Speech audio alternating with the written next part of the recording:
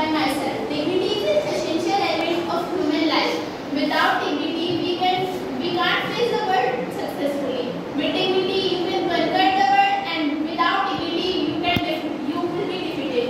It is should be the it should be the supreme belief that you are the worthy that to yourself and your community.